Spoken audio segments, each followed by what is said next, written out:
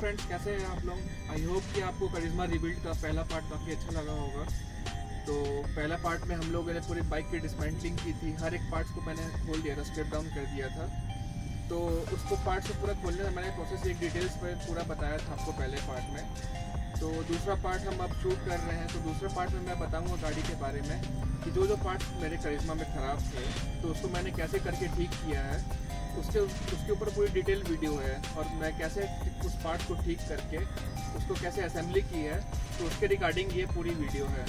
तो I hope कि आपको ये वीडियो पूरी देखने में अच्छी लगेगी। तो वीडियो को एंड तक देखिएगा और बने रहिएगा साथ में। देख सकते हैं, मैंने कार्बोरेटर के सभी होजेस को डिस्कनेक्ट कर दिया। सभी जुबली क्लैम्प से मैंने इसका कनेक्शन भी हटा दिया है। जुबली क्लैम्प को भी लूज़ कर दिया। ये बस चौक की केबल है यहाँ पे। तो चौक की केबल को मैं अनस्क्रू करके ऐसे ही निकाल लूँगा। इसका पिस्टन भी निकल जाएगा बाहर, छोटा सा है। फिर कार्बोरेटर को आप आसानी से स्लाइड करके निकाल सकते हैं। आप आप देख सकते हैं ये कार्बोरेटर है इसका। तो चलिए इसकी कंडीशन भी देख लेते हैं एक बार। स्लाइड की कंडीशन भी इसकी ख़राबी लग रही है। आप देख सकते हैं अंदर स्लाइड पूरा इसका। स्लाइड में इसके साइड्स में ऑपरेशन भी आ गए, ये स्लाइड भी घिस गई है इसकी, जिसकी वजह से ये अच्छे से वर्क भी नहीं कर रहा होगा। तो गाइज़ हमने इसके कार्बोरेटर को टोटली डायग्नोज किया था यहाँ पे। तो हमने ये देखा है इस पर कि इसकी स्लाइड्स पूरी कट गई थी।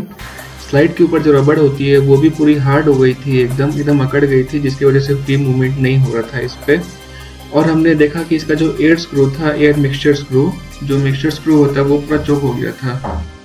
यही इसका एयर मिक्सचर स्क्रू है जो जब पूरा चौक हो चुका है कहीं टर्न भी नहीं हो रहा, ना क्लॉकवाइज हो रहा, ना एंटी क्लॉकवाइज हो रहा है, जिसकी वजह से परफॉर्मेंस काफ़ी ड्रॉप हो रही है इसकी।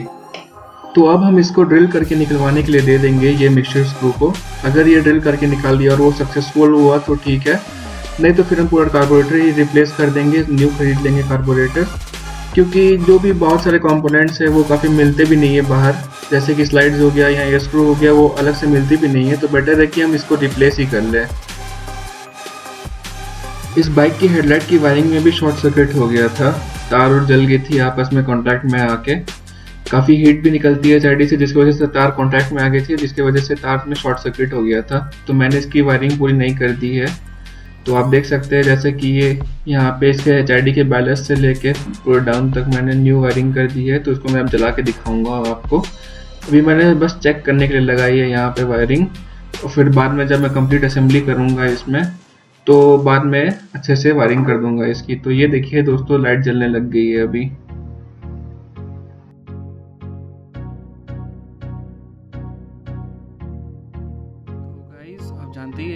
करिश्मा को पूरा स्ट्रिप डाउन किया था। पूरी कहानी ख़त्म हो चुकी थी इसकी। तो इसके सारे कंपोनेंट्स जो थे, जितने भी फाइबर कंपोनेंट्स थे, ये सबको तो मैं अभी बना के ले आया हूँ। बाकी यहाँ पे सारे कंपोनेंट्स इससे पड़े हैं। जहाँ पे वेल्डिंग की ज़रूरत थी, वहाँ मैं वेल्डिंग कर दिया था, जहाँ फाइबर वेल्डिंग की ज़रूरत थी। और बाकी कंपोनेंट्स में जहाँ ऐसी पेस्टिंग करके काम चला, चल जा रहा था तो वो मैंने पेस्टिंग कर दी थी। बाकी ये मडगार्ड नया आया है, ये मीटर केबल नहीं आई है। और मैंने शॉकर्स के ऑयल सील भी चेंज करवा दिए है यहाँ पे। न्यू ऑयल डलवा दिया है ऑयल सील भी चेंज हो गई है इसकी। बाकी रही है व्हील्स की बात। तो व्हील्स को मैं बस ग्रीसिंग करूँगा अभी, इसके जितने बियरिंग्स हैं इसको मैं ग्रीसिंग करूँगा अभी। और इसके रियर व्हील को भी मैं खोल के ग्रीसिंग करूँगा। तो मैं ग्रीस यूज़ कर रहा हूँ। काफ़ी हाई क्वालिटी की ग्रीस है ये वाली। ये टिमकन कंपनी की है truck on grease forty thousand kilometres तक तो इसकी लाइफ है ये। और ऐसे भी काफ़ी हाई टेम्परेचर पे भी चल सकती है। वाटर वॉश आउट से भी काफ़ी हाई रेसिस्टेंस है इसकी। रस से भी प्रोटेक्शन काफ़ी देती है ये। तो इसी को हम लोग यूज़ करते हैं। और ग्रीस का भी कलर मैं आपको दिखा दूँ एक बार तो ये पूरी ब्लू कलर की ग्रीस है जैसे इसका कैप है।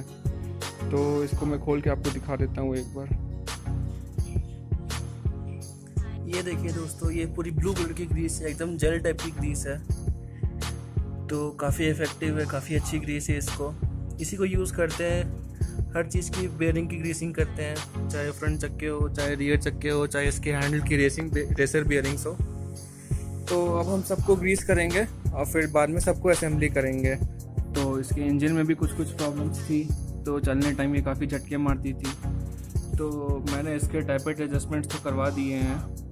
तो उस लीव गेज भी मुझे मिल गया था टाइप एडजस्टमेंट मैंने कर दिए हैं। वो बस इसकी वीडियो मैं बनाने नहीं दे पाया था। और इससे कार्बोरेटर में दिक्कत थी तो जिसकी वजह से मैं सोचा था कि इसको ठीक कर दूँगा, लेकिन इसके कार्बोरेटर के अंदर के कंपोनेंट्स अलग से मिलते नहीं हैं। जैसे कि स्लाइड हो गया या तो एयर स्क्रू हो गया, वो अलग से आता नहीं है।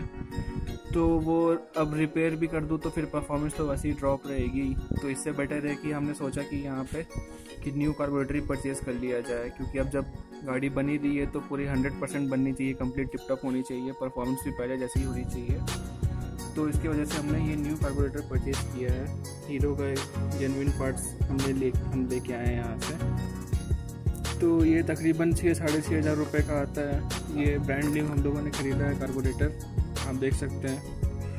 टोटली ब्रांड न्यू है। तो इसको हम लोग इंस्टॉल करेंगे बाइक में। और एक और पार्ट मैंने ख़रीदा है अभी। ये इंडिकेटर का रील है उसका। विंकर रील है। तो ये भी मैं खरीद के लेके आया हूँ। इसको भी इंस्टॉल करेंगे। इसकी पोजीशन भी यहाँ पे होती है। यहाँ पे हो गई इसकी कार्बोरेटर की पोजीशन और यहाँ पे हो गई इसकी इंडिकेटर रिले की पोजीशन अब ये करिश्मा की आखिरी वीडियो है हमारी। तो जैसा आप देख सकते हैं कि करिश्मा का रीबिल्ड को हम लोग ने टोटली कंप्लीट कर दिया है। मतलब अब गाड़ी एकदम स्टार्ट भी है तो एकदम मक्खन जैसे चल रही है गाड़ी। इसमें हमने न्यू कार्बोरेटर भी इंस्टॉल किया है। उसके टैपेट को भी सेट किया है हमने। बस अब बारी रहेगी उसको चेंज पॉकेट्स की तो अभी अवेलेबल नहीं है तो वो फिर कभी बाद में कर लेंगे। तो आप देख सकते हैं कि इसके बॉडी से कहीं भी आवाज़ नहीं है कोई भी पार्ट उठ वगैरह हिल नहीं रहा है इसका। सभी अच्छे से फिक्स कर दिया है ब्रेक भी फिक्स कर दिया इसके मडगार्ड भी नए खरीद के लेके आए हैं हम? और हेडलाइट के कनेक्शन भी सब हमने कर दिए हैं इसके, जो भी कनेक्शन थे। वायरिंग वायरिंग में जो भी फॉल्ट थी, सब हमने ठीक कर दी है। इंडिकेटर भी बैक में न्यू लगाए हैं हमने। तो बस वही आप पुरानी देखने से लगेगी तो थोड़े बहुत पेंट वर्क से पुरानी लगेगी, लेकिन ऐसे अब न्यू कंडीशन में चल रही है बाइक छः सात साल हो भी गए हैं बाइक को, और चल भी रही है एकदम न्यू टाइप की। तो आइए, अब उसका रिव्यू देखते हैं।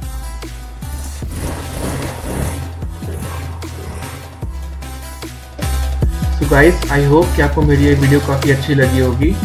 वीडियो के एंड तक बने रहने के लिए आपका बहुत बहुत शुक्रिया। Please like share and subscribe to my channel for more automotive contents like these